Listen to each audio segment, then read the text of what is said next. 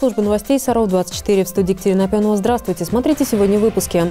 Около 80 работ из разных уголков России. В Сарове завершился фестиваль «Свободный стиль». Водитель, не превышай. ГИБДД и юные инспекторы безопасности дорожного движения провели профилактическую акцию. Не было равных. Студия спортивного бального танца «Дека» выступила на международных соревнованиях. Далее расскажем обо всем подробно. Президент России Владимир Путин подписал указ о назначении выплат на детей от 3 до 7 лет включительно. Ежемесячные пособия будут выплачивать семьям с доходами ниже прожиточного минимума, установленного в регионе на ребенка. Приблизительно это 5,5 тысяч рублей. Правительству Российской Федерации поручено в срок до 1 апреля утвердить порядок и условия предоставления выплат. Деньги на эти цели пойдут из регионального и федерального бюджетов. Пособия будут выплачивать со следующего года на условиях, предусмотренных региональным законодательством. Порядок получения выплат будет максимально упрощенным и унифицированным. Для получения денег потребуется лишь подать заявление в электронном виде. К другим новостям. Саровчанин после драки с неизвестными обратился в приемный покой. Конфликт произошел ночью на улице Менделеева. Мужчина в состоянии алкогольного опьянения возвращался домой. На встречу ушла компания молодых людей. Между ними завязалась словесная перепалка, которая быстро переросла в драку. Чем еще запомнилась минувшей недели сотрудникам правопорядка, расскажем в следующем репортаже. Пять заявлений о кражах поступило от сыровчан в дежурную часть. Две из них произошли на садовых участках. В основном злоумышленников привлекали металлические конструкции. 22 марта в 13.00 было зарегистрировано заявление от гражданина С. 51 года рождения о том, что в период времени с 14 марта до 22 марта при неизвестных обстоятельствах садового участка СНТ «Союз» пропали металлические швеллера и трубы – общий вес которых составил около 200 килограмм. Сотрудники правопорядка устанавливают личность преступников. Еще одна кража произошла в одном из домов города. Компания несовершеннолетних молодых людей зашла в гости к своему товарищу. Выходя из квартиры, один из ребят решил захватить с собой сумку с документами хозяйки квартиры. После того, как гости разошлись, женщина даже не обратила на это внимания. Спустя какой-то промежуток времени просто посмотрела, а сумки на месте не висит. На дорогах города произошло 18 дорожно-транспортных происшествий. В двух пострадали люди. На улице Железнодорожной водитель такси перекрыл дорогу припаркованному автомобилю, который стоял на стоянке возле железной дороги. Пока таксист ждал пассажира, к припаркованной машине подошел хозяин и грубо попросил водителя убрать автомобиль, в результате чего произошел конфликт. Когда водитель Датсун Ондо э, своего э, пассажира дождался, решил уехать. Но водитель 81 года рождения, он, он же не мог его просто так отпустить. После того, как он перекрыл дорогу, он сам ему перекрыл дорогу. Путем уговоров и пассажирка его уговаривала, и водитель его уговаривал отойти. Он изначально все-таки отошел, но в тот момент, когда Датсун Ондо проезжал мимо него, все равно каким-то образом он его зацепил. Мы проведем административное расследование, установим степень тяжести телесных повреждений, установим степень вины каждого из участников – и тогда будем принимать решение. Еще одно ДТП произошло на улице Семашко. Женщина, управляя автомобилем Volkswagen Polo, при повороте налево не уступила дорогу встречному автомобилю. В результате она получила телесные повреждения. После осмотра врачом отправилась домой. Ирина Вышегородцева, Евгений Шевцова, Сергей Рябов. Служба новостей Саров 24. Всероссийская диспансеризация взрослого населения приостановлена из-за опасности распространения коронавируса нового типа. Соответствующее распоряжение правительства опубликовано на официальном портале правовой информации. Прекращены плановые медицинские осмотры и диспансеризация отдельных групп населения. Эта мера действует до особого распоряжения Кабинета министров. Другая важная информация в подборке коротких новостей. С 30 марта в Нижегородской области начнется выдача разрешений на весеннюю охоту. Об этом сообщили в Комитете по охране, использованию и воспроизводству объектов животного мира Нижегородской области. Заявление документа на получение разрешения можно подать как лично, так и дистанционно по электронной почте officialsobaka.охота.кремль.нов.ру. В нынешних условиях комитет рекомендует использовать именно второй вариант получения разрешений на охоту. Для удобства граждан сроки дистанционной выдачи разрешений сокращены.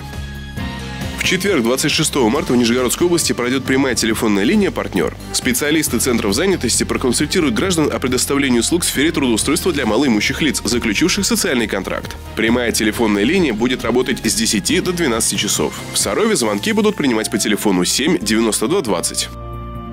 Саровчанин привел свою команду к победе на «Что, где, когда». 22 марта состоялась первая игра весеннего сезона. В роли знатоков выступили ребята из коллектива «Дети 21 века». Старшеклассники и студенты первых курсов столичных вузов. Капитаном команды стал уроженец нашего города Кирилл Емелин. Под его руководством знатоки со счетом 6-4 одолели телезрителей.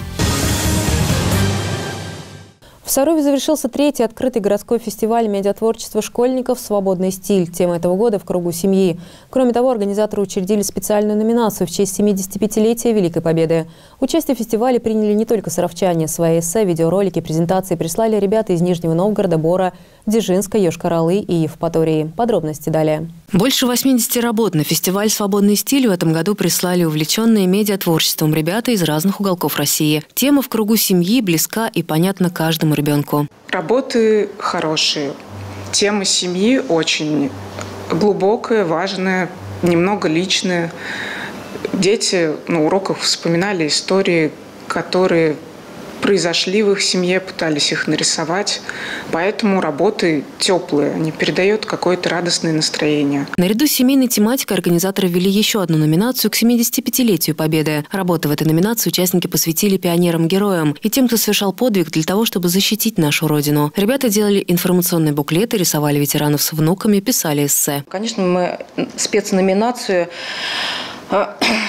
посвященная победе 75-летия Великой Отечественной войны, мы тоже вменили. И очень радостно, что некоторые работы были как раз отражением как дети видят свою семью в том, что наш народ победил в Великой Отечественной войне. Самой большой популярностью пользовалась компьютерная графика, анимация. В этих номинациях было около 40 работ. Больше половины из них прислали саровчане, ученики детской школы искусств номер 2, гимназии, 3 лицея, 13 и 20 школ. Все работы представлены на выставке, которую организовали по итогам фестиваля. Коронавирус внес свои коррективы в планы, и посмотреть экспозицию пока невозможно. Но сотрудники ДШИ номер 2 предпринимают все необходимое, чтобы у горожан была возможность познакомиться с творчеством участников медиафестиваля. Официального закрытия в связи с сложившейся ситуацией у нас нет. Мы проводим все в онлайн-режиме.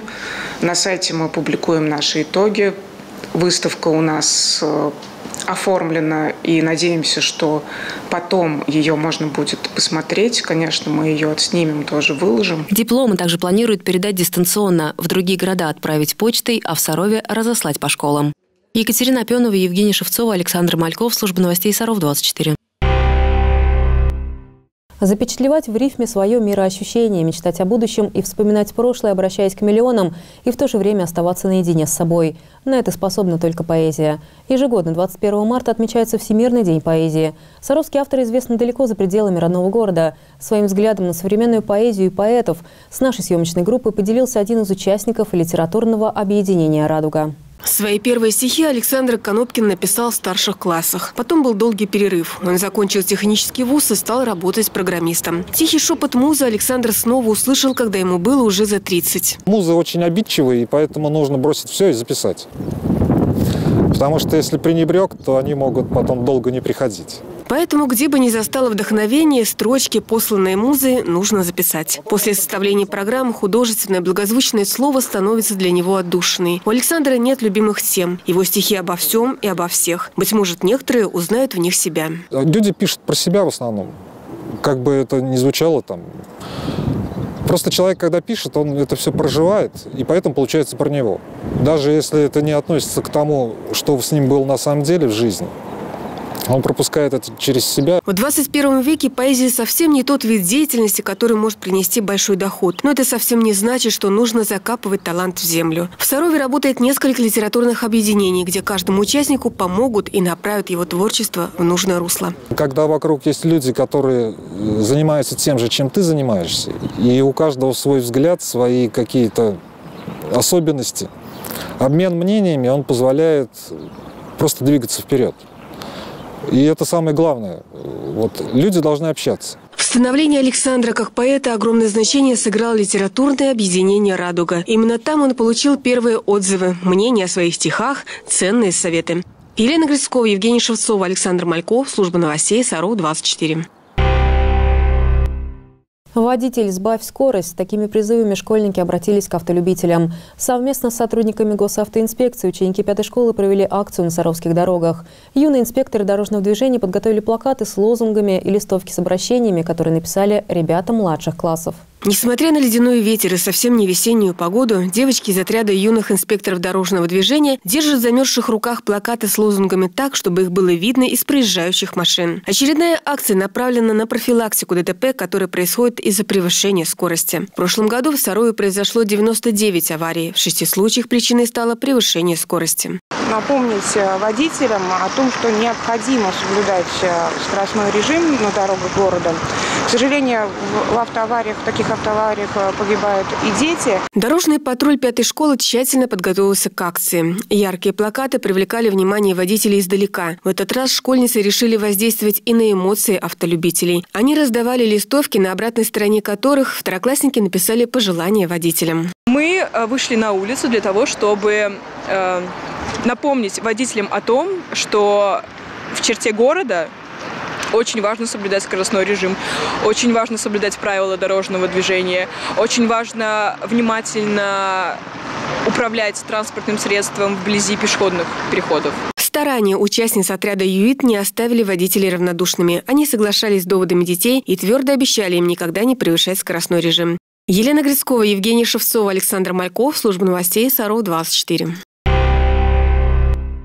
Студия спортивного бального танца «Дека» выступила на международных соревнованиях по танцевальному спорту в Саранске. Воспитанники Дениса Брагина и Екатерины Сосоевой завоевали абсолютную победу среди юниоров, а также выиграли серебро и бронзу в своих возрастных группах. Подробности в следующем репортаже. Танцоры студии «Дека» Константин Боровков и Софья Соловьева работают в паре всего год. Но за это время ребята успели наладить контакты и одержать несколько крупных побед. На международных соревнованиях «Фурор Кап» в Саранске саровчан признали лучшими среди юниоров с латиноамериканской и европейской программами. Мы соревновались э, с 20 парами, и было ну, две части конкурса. А, было, ну, как бы в первой части нормально, а во второй уже посложнее. У нас было две программы, латиноамериканская и европейская. Вот, латиноамериканская программа у нас хорошо всегда получалась.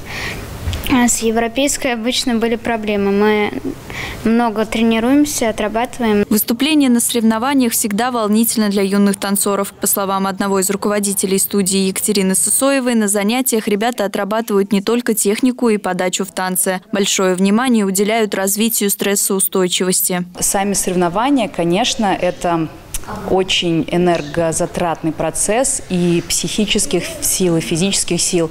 Поэтому чем больше танцор а, посещает соревнования, тем а, лучше он выступает на каждом следующем, потому что он а, привыкает быть вот в этой форме, привыкает быть в атмосфере конкурсной и уже легче справляется с нагрузками и психическими, и физическими. Танцоры тренируются каждый день, оттачивают элементы и готовятся к предстоящим соревнованиям. Руководители ежегодно отправляют своих воспитанников на фурор кап и гордятся, что в этот раз ребятам удалось достичь внушительных результатов. Наши самые старшие воспитанники Ломтев Никита и Казанцева Мария заняли второе место среди взрослых танцоров – а в первый день соревнования а, среди детей от 10 до 12 лет а, победили Качев Денис и Соснина Виктория, и также его младший брат Качев Максим с своей партнершей Пуль Кристиной заняли тоже призовое место. На паркет выходили танцоры из 12 регионов России, участники из Беларуси и Казахстана. В рамках международного турнира в Саранске также проводились городское первенство и открытые соревнования Республики Мордовия, где Денис Брагин и Екатерина Сысоева выступили в качестве судей. Дарья Козина, Константин Островский, Александр Мальков. Служба новостей Саров 24. И это все, о чем мы успели рассказать сегодня. Следите за новостями города в группах канал 16, в социальных сетях, ВКонтакте, Фейсбук, Одноклассники. Подписывайтесь на наш канал в Ютубе и смотрите все информационные выпуски, авторские программы и расширенные версии репортажей в удобное для вас время. В студии работала Екатерина Пенова. Всего вам доброго и хороших вам новостей.